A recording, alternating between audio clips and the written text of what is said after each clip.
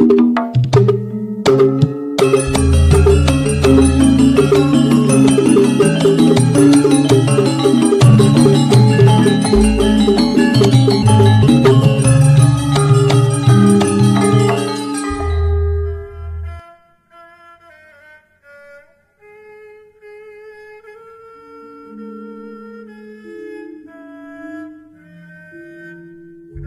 Bapak Ibu para kadang kinasih simbah-simbah adik-adik para rama suster bruder berkah dalam Gusti.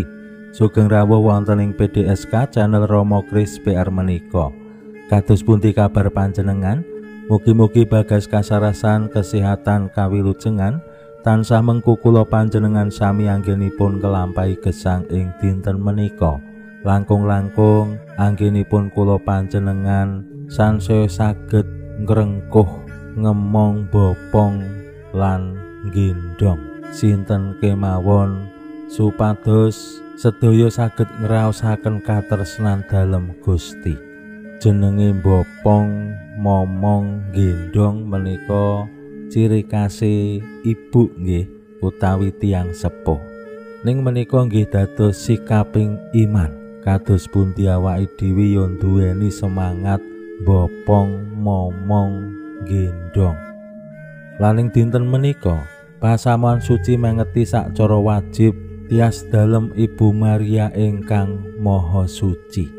Yen Bapak Ibu kadang kolom bikak Mbah Google lajeng madosi tias dalem Gusti Yesus, biasane wonten gambar sing jejer antarane Gusti Yesus kalian Ibu Maria.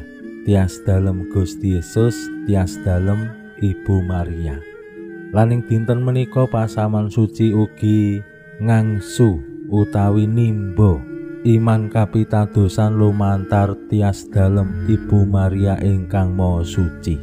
Yen kala wingi Gusti Yesus kanthi tias dalem ingkang boten ngersakaken setunggal kemawon ingkang cicir ing dinten menika kula panjenengan kaparingan gegambaran kados pundi Ibu Maria anganti tiasipun ingkang maha suci dados ibu ingkang saklangkung tresno dados ibu ingkang saklangkung memahami menapa kemawon ingkang dados pepinginan tumindakipun ingkang putra. Menika tentu saged dados tulodo kangge kula panjenengan langkung-langkung tiang sepuh langkung-langkung jejering ibu simbok mamak simak lan sebutan-sebutan sanesipun. Awit priye-priyo ibu menika gadah kekuatan sing luar biasa. Simbok menika perjuangane luar biasa. Tahan banting. Yo ngurusi dapur, ngurusi omah, ngurusi anak, keporo yo kudu golek penghasilan mbuh neng alas neng sawah dodolan lan sak panunggalane. Lan kathah simbok-simbok jaman menika sing nyambut gawe ya demi pekerjaan ninggal anake. Nah menika gegambaran sing luar biasa menggaing simbok-simbok. Ning kados pundi tuladanipun Ibu Maria kanthi tias dalem ingkang suci anggenipun momong bopong lan gendong Gusti Yesus. Pramila monggo kita pirengaken sabdo dalem Gusti ing dinten menika. Kapetik saking Injil Lukas bab kalih ayat sekawan doso setunggal ngantos dumugi seket setunggal. Suawi sami munjuk Gusti Yesus sabdo dalem yang Romo ingkang sampun manjalmo Mugi karso ngandika dhateng kawula wonten ing asepen ing telenging manah kawula. Kabeh kegiatan lan panglipur ingkang manjing ing sabdo dalem kapenuwana kawula mawi ing kawicaksanan dalem.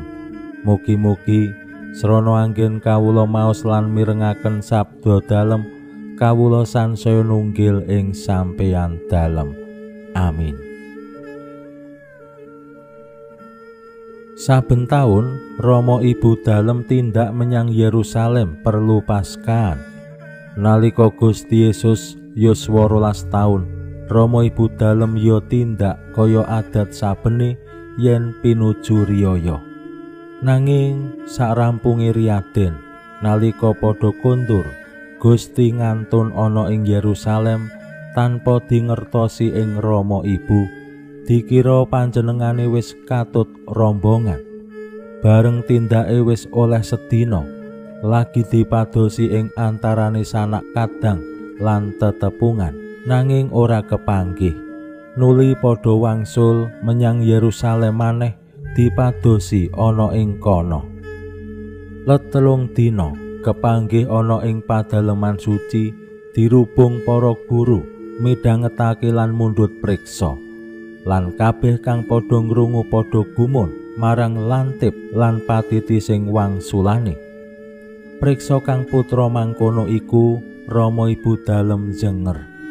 Ibu dalem ngandika, "Ya kene tumindak mangkono angger, gilo, aku lan bapakmu karoyo-royo goleki." Wangsulan dalem. Sebab menapa kula dipun padosi? Menapa boten priksa menawi kula kedah nindakaken karsanipun Rama? nanging Rama ibu dalem ora nyandak apa sing dikersakake. Bakto iku Gusti Yesus nderek tedhak menyang Nasaret lan bangun miturut marang Rama ibu dalem.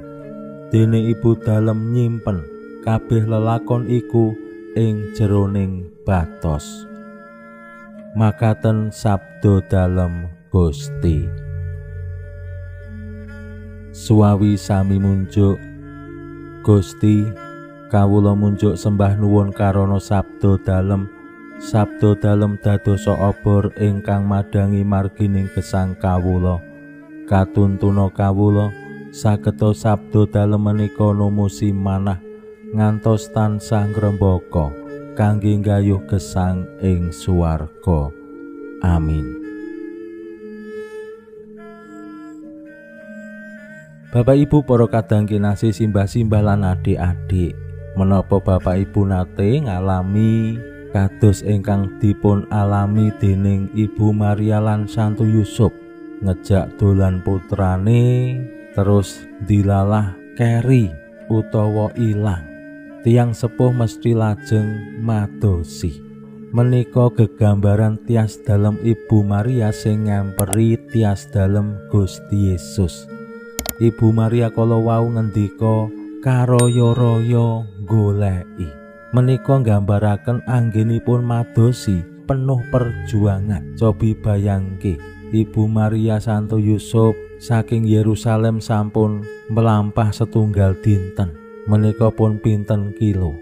Yen sak jam setunggal kilo berarti yen sedina wis 24 kilo.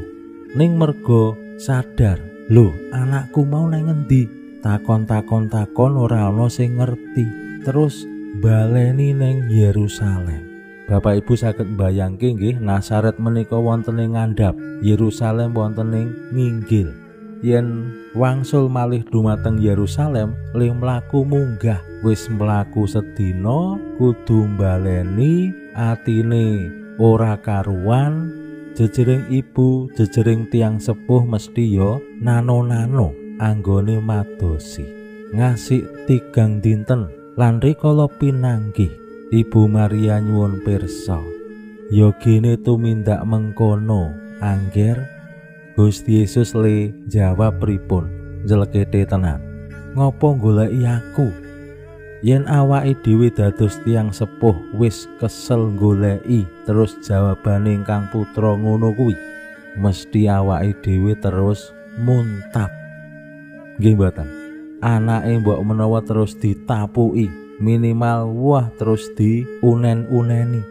Ning pranyata ingkang dipun tindakaken Ibu Maria boten mekaten. Ibu Maria lan Santo Yusuf sadar menapa ingkang dipun ngendikaken Gusti Yesus pancen dereng saged dipahami karepe kepriye. Ning Ibu Maria lajeng nyimpen sedaya perkawis menika wonten batosipun.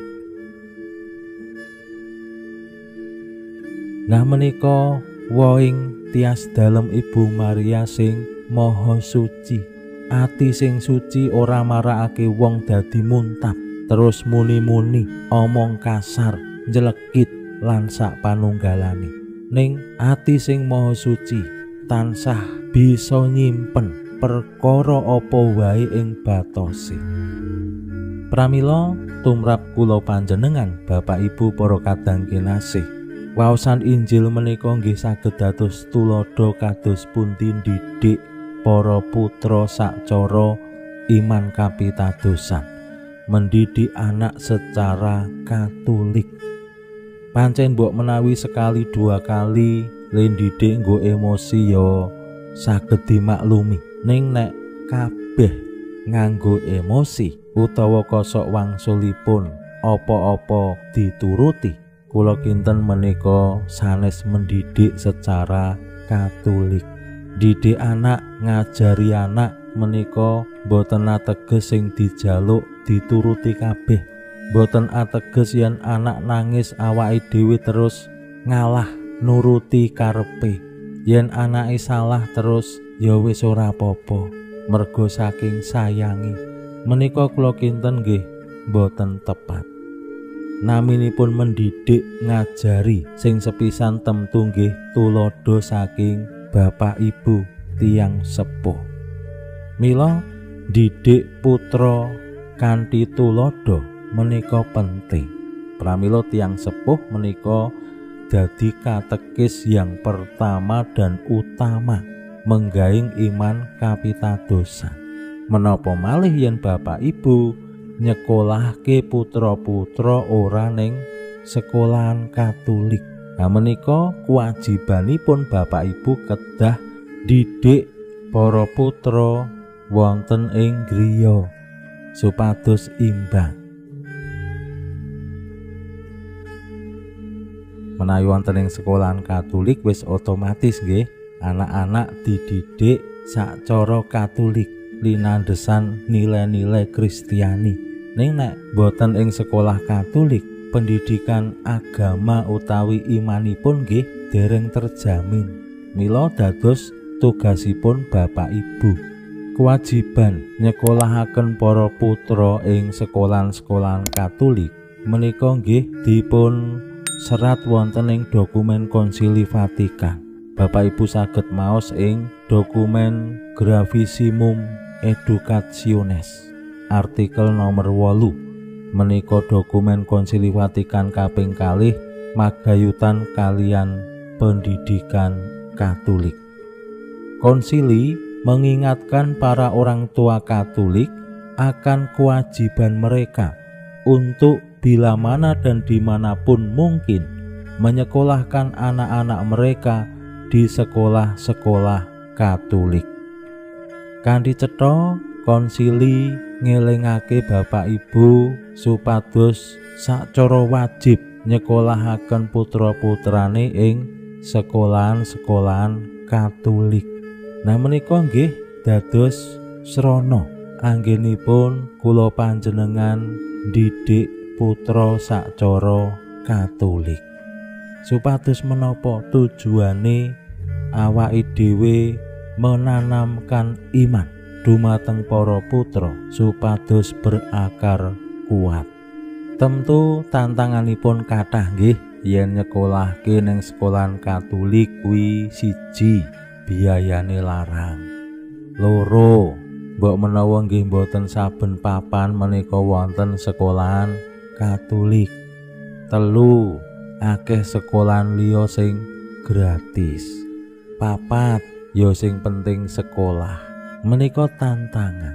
Kathah yen dados kesan kula sekolahan-sekolahan Katolik boten malih dados prioritas tumraping awake dhewe umat Katolik prioritase yo sing penting murah sing penting sekolah mbok menawa yo kualitas. Ning bab pendidikan iman boten dados prioritas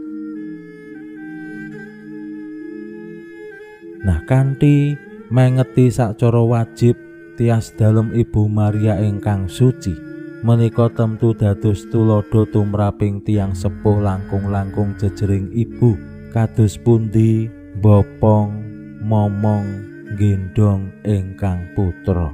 Supados menapa wohipun kados pendidikan ingkang dipun tindakaken dening Ibu Maria lan Santo Yusuf Gusti Yesus dados pribadi sing militan pribadi sing sosial pribadi sing dados berkah tumraping tiang kathah.